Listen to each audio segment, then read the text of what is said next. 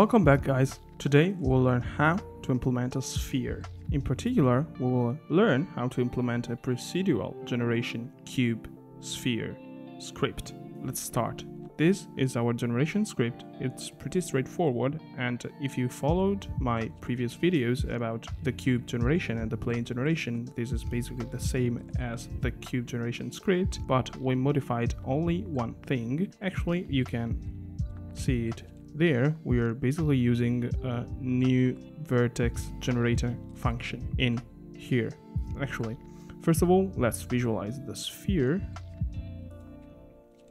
so that's uh, our sphere and we start from a cube with a low resolution and then the higher the resolution the better the sphere will look. So we will deactivate the wireframe for now and we're we're gonna see it shaded. So this is our sphere with resolution 1 resolution 2 we can still see the planes, resolution 3, still see the planes, 4, still see the, see the planes, 5, it's a smooth sphere, but if we come closer we can barely see the planes, resolution 7, we can still see some details of the planes here, but with resolution 7 we have a perfect sphere, a perfect cube sphere.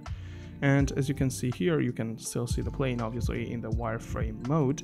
And yeah, we have a sphere with tons and tons of vertices. Actually, it's 16,000 vertices multiplied by 6. This is our total vertices. With this approach, we broke the bounds that Unity impose that is 65,000 vertices per mesh and in here we, we have more vertices than the allowed because we are breaking the mesh into small meshes. But how did we implement the sphere? Well, the generation script is the same, but what do we need to do?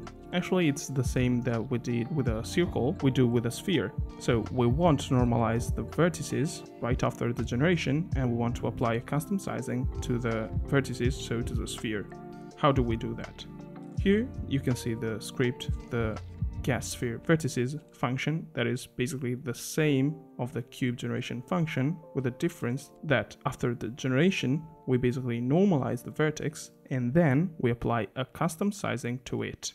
So in here we can see that we have a perfect shaded sphere and then we can also size it. Actually the sizing is specified as an int, you can use a float instead of an int. I don't know why I specified an int, but actually you can use whatever you want. And also you can use the sizing tool to size the sphere with your custom sizing.